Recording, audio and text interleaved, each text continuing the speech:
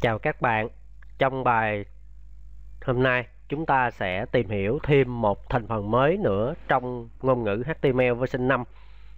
Đó là dịch vụ lưu trữ web, web storage. Thì hiện nay trong trình duyệt mỗi cookie thường chỉ cho phép lưu trữ tối đa khoảng 4 kg và vài chục cookie cho một domain. Do đó cookie thường chỉ được dùng lưu các thông tin đơn giản ví dụ như là username, password hay là email để giúp người dùng có thể đăng nhập tự động vào website. Do giới hạn về dung lượng của cookie do đó khiến các trang web muốn nâng cao hiệu suất làm việc bằng cách là muốn kết lại dữ liệu tại lên là hầu như không thể thực hiện được. Vì với 4 ký dữ liệu của cookie thì chúng ta sẽ không lưu dữ liệu nhiều được. Do đó, dịch vụ Web Storage trong ngôn ngữ HTML version 5 ra đời, nó giúp các ứng dụng web có khả năng tương tác và nạp dữ liệu tức thì trên trình duyệt. Nên việc truyền tải mạng sẽ được giảm thiểu đáng kể. Ví dụ như là nếu mà chúng ta muốn xây dựng một muốn xây dựng một cái ứng dụng tra cứu sách trực tuyến hay là một cái ứng dụng đọc sách thì lúc giờ nội dung của cuốn sách hay là nội dung của từ điển thì chúng ta có thể lưu xuống tại máy người dùng. Và đối với người dùng, khi cần đọc hay là tra cứu nội dung thì họ không cần phải kết nối vào server để tải lại những dữ liệu cũ mà nội dung tra cứu hay là nội dung cuốn sách đó họ có thể đọc trực tiếp từ máy của người dùng.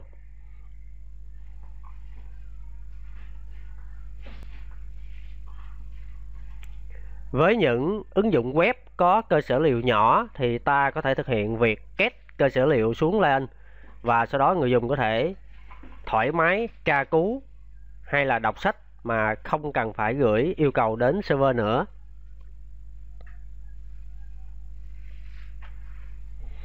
Thì đối với cái dịch vụ web storage, nó sẽ có hai cơ chế. Cơ chế session store và cơ chế local store thì đối với cơ chế session store thì nó chỉ giới hạn trong một cửa sổ hay là một thẻ của trình duyệt. Nếu một trang web mà được mở trong hai thẻ của cùng một trình duyệt thì cũng không thể truy xuất dữ liệu lẫn nhau được. Hoặc là khi chúng ta đóng trang web lại thì dữ liệu lưu trong session storage sẽ cũng bị xóa mất. Do đó là cái cơ chế lưu trữ dạng session storage nó sẽ không truy xuất lẫn nhau được và nó sẽ giới hạn chỉ trong một cửa sổ của của trình duyệt. Còn đối với cơ chế local storage thì dữ liệu có thể truy xuất lẫn nhau được giữa các cửa sổ trình duyệt và dữ liệu sẽ được lưu trữ không giới hạn thời gian. Do đó là cái cơ chế lưu trữ local storage thì thường sẽ được sử dụng nhiều hơn. Cơ chế là session storage.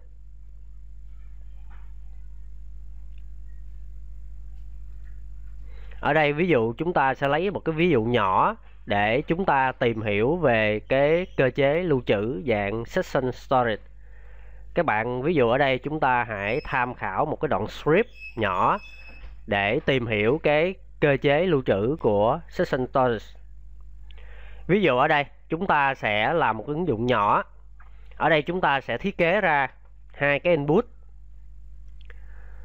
Một cái input kiểu là test và cái input test này sẽ dùng để xuất kết quả ra. Và chúng ta có một cái nút. Cái nút này tên là điếm khi chúng ta bấm vào cái nút này thì chúng ta sẽ gọi một cái hàm xử lý điếm và cái hàm xử lý điếm này việc đơn giản chúng ta là mỗi lần chúng ta bấm một cái nút điếm chúng ta bấm nút điếm một lần thì sẽ lưu lại điếm là một. Và cái biến điếm này nó sẽ được lưu vào bên trong session storage của trình duyệt. Do đó chỗ này chúng ta sẽ thiết kế ra một cái đoạn script và bên trong này chúng ta sẽ tạo ra một cái hàm dùng để xử lý điếm đầu tiên để truy xuất vào cái ô, để truy xuất vào cái test field kết quả. Để sau này chúng ta xuất kết quả ra, thì chúng ta sẽ dùng cú pháp là va. Và chúng ta tạo ra một cái biến để lưu trữ, để chúng ta có thể truy xuất được đến cái cái div tới cái input kết quả này theo cú pháp là document.get element by id kết quả. Sau đó chúng ta sẽ kiểm tra xem muốn lưu được dữ liệu vào bên trong web storage thì trình duyệt nó phải hỗ trợ cơ chế lưu trữ dạng web storage. Do đó đầu tiên chúng ta sẽ dùng lệnh if để chúng ta kiểm tra xem trình duyệt của người dùng có hỗ trợ cơ chế lưu trữ dạng web storage hay không. Chúng ta sẽ viết lệnh là nếu type of storage mà khác undefined có nghĩa là trình duyệt nó sẽ hỗ trợ cho chúng ta cơ chế lưu trữ dạng web storage. Thì lúc giờ chúng ta sẽ kiểm tra tiếp.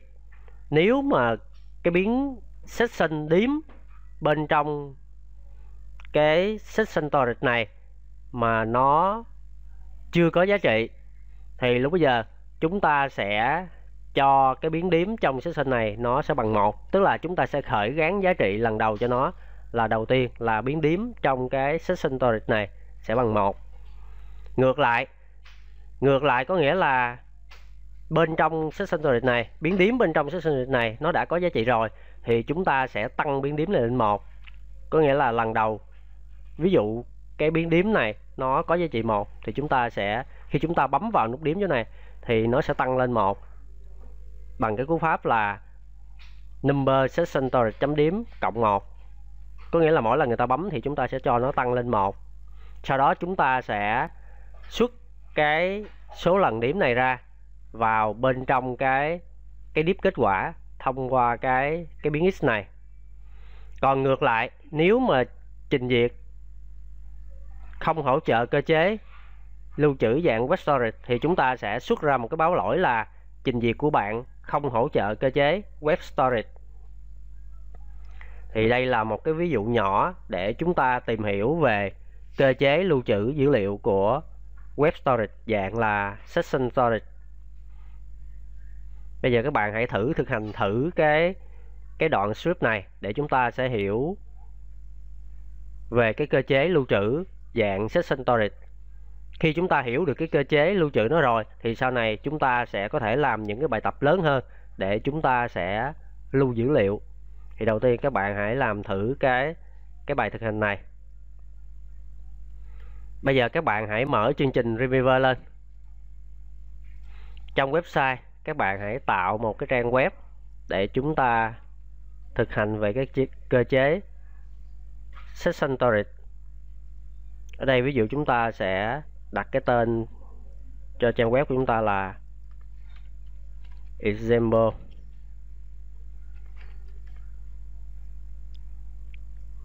Session storage. Bây giờ các bạn hãy mở trang web này lên. Sau đó các bạn hãy chuyển qua chế độ code. Đầu tiên thì các bạn hãy chuyển trang web của các bạn sang cấu trúc ngôn ngữ HTML version 5 chấm. Nếu bạn nào đang đứng trên môi trường thiết kế web bằng Reviewer CC thì các bạn không cần phải bỏ bớt các thuộc tính này vì mặc định khi chúng ta tạo ra trang web là nó đã ra luôn. Cho chúng ta là cái cấu trúc trang web dạng HTML version 5 chấm. Tiêu đề của trang web, ví dụ chúng ta sẽ đặt là section storage example bây giờ bên trong thẻ body đầu tiên chúng ta sẽ tạo ra một cái form trong cái form chúng ta có hai cái input. Một cái input để lưu kết quả và một cái input là một cái nút để khi chúng ta bấm vào thì nó sẽ lưu cái giá trị vào bên trong cái biến điếm của session storage. Các bạn hãy tạo ra một cái form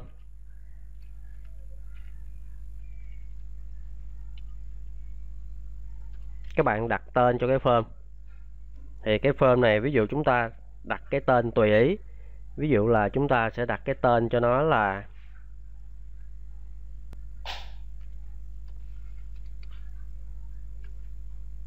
ví dụ chúng ta đặt tên cho nó là ví dụ. Ở đây chúng ta sẽ có thẻ kết thúc là suyệt form bây giờ trong cái form này, chúng ta sẽ tạo ra hai cái nút. Thứ nhất là chúng ta sẽ tạo ra một cái chúng ta sẽ tạo ra một cái cái input dạng là test để chứa kết quả. Cái input này có tên là kết quả. Sau này chúng ta sẽ xuất kết quả vào bên trong cái div này. Và ở đây chúng ta sẽ đặt thuộc tính rất early để chúng ta không cho người dùng sửa cái kết quả. Sau đó là chúng ta sẽ tạo thêm một cái input nữa và cái bút này, cái tay của chúng ta sẽ chọn là kiểu bút tông để chúng ta tạo ra một cái nút. Và cái nút này có tên là, ví dụ là đếm. Có nghĩa là khi chúng ta bấm vào cái nút đếm này thì nhiệm vụ của chúng ta trong cái ví dụ này là chúng ta sẽ lưu lại cái số lần lít vào bên trong cái session storage đếm bên trong trình duyệt ở đây chúng ta sẽ sử dụng sự kiện JavaScript là onList có nghĩa là khi chúng ta kích vào cái nút điểm này, thì ví dụ ở đây chúng ta sẽ gọi một cái hàm là, chúng ta sẽ gọi một cái hàm là xử lý đếm. Và cái hàm này là chúng ta phải tự viết vào. Và cái hàm này, nó phải có chức năng là ví dụ, trong ví dụ này thì chúng ta làm đơn giản là chúng ta chỉ lưu lại cái số lần lít của người dùng khi người ta bấm vào nút đếm.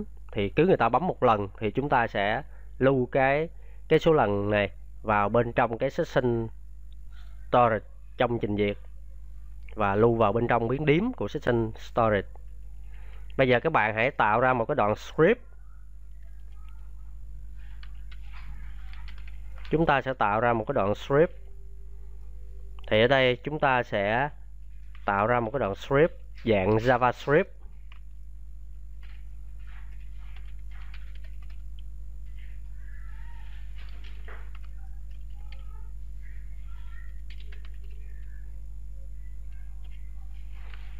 Trong cái đoạn script này thì chúng ta sẽ tạo ra một cái hàm xử lý điếm. Các bạn tạo ra một cái function xử lý điếm. Các bạn nhớ là cái function này các bạn viết phải giống với cái cái tên function mà chúng ta viết bên dưới.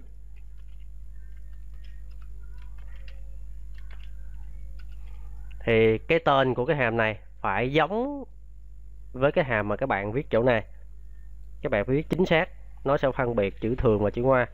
Đầu tiên, chúng ta sẽ tạo ra một cái biến tạm để chúng ta truy xuất tới cái input kết quả này, để sau này chúng ta có thể xuất được kết quả vào bên trong cái input kết quả. Để truy xuất vào cái cái input kết quả thì chúng ta sẽ dùng cú pháp là document chấm get element by id và bên trong này chúng ta sẽ truy xuất tới cái cái input kết quả của chúng ta. Chú ý là cái tên này các bạn phải viết cũng phải chính xác, đúng với cái cái ID mà chúng ta đã đặt cho cái input này. Thì cái dòng này có nghĩa là chúng ta truy xuất đến input kết quả.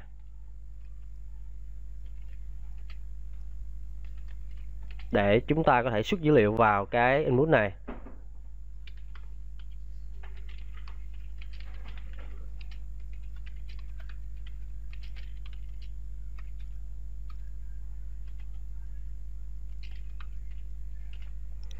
Bước tiếp là chúng ta phải kiểm tra xem trình duyệt nó có hỗ trợ cơ chế lưu trữ dạng web storage hay không do đó đây chúng ta sẽ dùng cái lệnh if để chúng ta kiểm tra. If tie up. Và ở đây chúng ta sẽ kiểm tra cái storage. Xem nó có hỗ trợ không? Thì ở đây các bạn sẽ định nghĩa ở đây là nó undefined, cú pháp là undefined.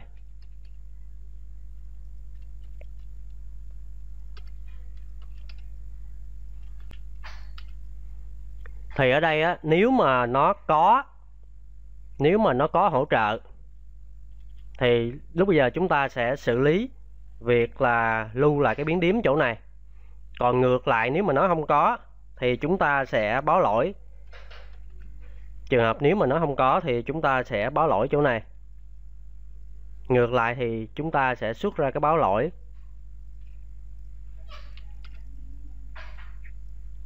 Ví dụ chỗ này chúng ta sẽ báo lỗi.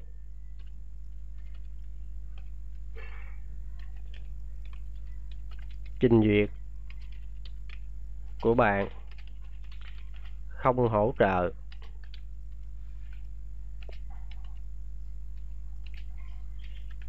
Cơ chế lưu trữ. Web storage. Vậy là nếu mà nó không hỗ trợ thì chúng ta sẽ xuất ra cái báo lỗi này. Còn nếu mà trình duyệt của chúng ta hỗ trợ cơ chế lưu trữ, thì lúc giờ trong cái cái phần này chúng ta sẽ xử lý, lưu lại cái biến điểm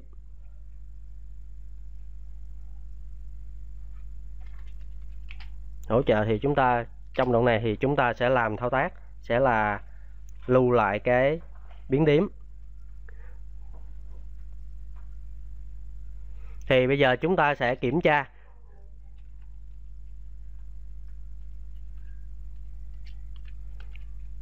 Chỗ này chúng ta sẽ xử lý lưu lại. Cái số lần lít.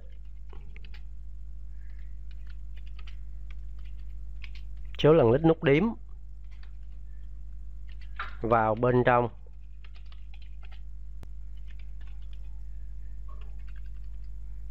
Có nghĩa là khi người ta lít vào cái nút điếm chỗ này, thì nhiệm vụ của chúng ta sẽ lưu lại cái số lần lít cái nút điếm này, số lần lít nút điếm này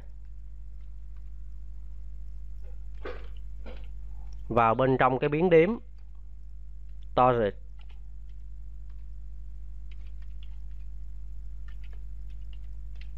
có nghĩa là bên trong cái session storage chúng ta sẽ tạo ra một cái nơi dùng để lưu lại cái biến điếm và cái vùng lưu trữ đó tên là điếm.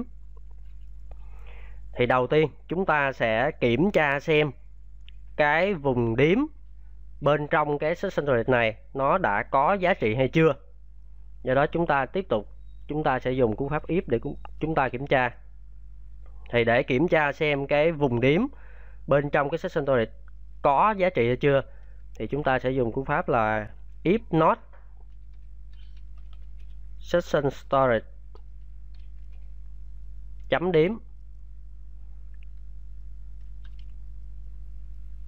thì lúc bây giờ, nếu mà nó chưa có, thì chúng ta sẽ đặt, chúng ta sẽ khởi gán giá trị cho cái session storage điểm này.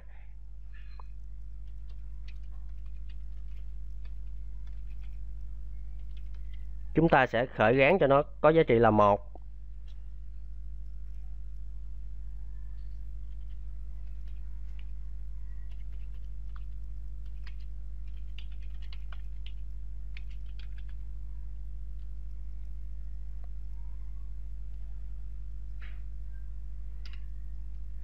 Có nghĩa là nếu mà lần đầu nó, cái biến điểm trong cái sensor của chúng ta mà nó chưa có giá trị, vậy là khi người dùng bấm vào một lần, thì lúc giờ chúng ta sẽ gán một vào bên trong cái cái biến điểm của cái storage này.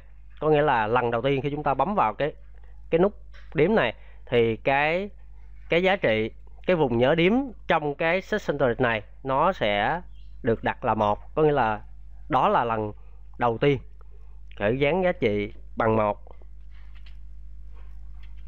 cho lần lít đầu tiên. Có nghĩa là lần đầu khi chúng ta bấm vào cái cái nút điểm này thì chúng ta sẽ gắn giá trị một cho cái biến điểm bên trong cái section storage này. Còn ngược lại ngược lại có nghĩa là bên trong cái cái biến điểm bên trong cái section storage này nó đã có một cái giá trị rồi. Thì lúc giờ chúng ta sẽ cộng dồn lên. Ví dụ là nếu mà bên trong cái sinh này nó có, nó đã có giá trị rồi là hai, thì chúng ta sẽ lấy hai cộng thêm cái lần bấm của chúng ta vào cái nút điểm này nữa, thì 2 cộng 1 sẽ là 3 còn nếu mà nó đã có giá trị biến điểm trong sách sinh nó có giá trị là một, thì chúng ta sẽ cộng dồn lên là một cộng một, thì sẽ, nó sẽ lần thành hai ở đây để cộng dồn lên thì chúng ta sẽ sử dụng cú pháp là session storage chấm điểm bằng ở đây chúng ta sẽ sử dụng hàm number. Và bên trong này, chúng ta sẽ tăng cái giá trị của biến điểm lên lên một.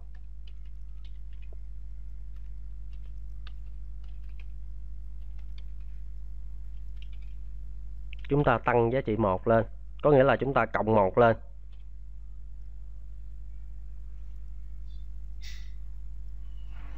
Có nghĩa là nếu mà cái biến điểm bên trong set centered của chúng ta mà nó đã có giá trị rồi, thì chúng ta sẽ lấy cái giá trị đó, chúng ta cộng thêm một vào.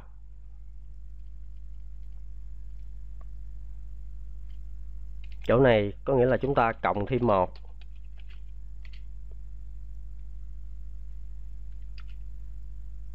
Sau đó chúng ta sẽ xuất cái số lần điểm ra cho chúng ta sẽ xuất cái số lần điểm ra vào bên trong cái cái điểm kết quả này để chúng ta sẽ thấy được là cái số lần điểm của chúng ta sẽ là bao nhiêu. Ở đây các bạn sử dụng phương pháp là x. X có nghĩa là chúng ta truy xuất tới cái cái input kết quả này. X chấm value có nghĩa là chúng ta sẽ gắn giá trị vào bên bên trong cái cái input kết quả. Ở đây chúng ta sẽ gắn vào, ví dụ chúng ta sẽ xuất ra một cái câu thông báo là số lần click. Và bây giờ chúng ta sẽ, chúng ta sẽ nối chuỗi vào. Chúng ta sẽ xuất cái biến điểm ra. Để xuất biến điểm thì chúng ta sẽ gọi là session storage chấm điểm thì dòng này có nghĩa là chúng ta xuất xuất giá trị biến điểm xuất giá trị của biến điểm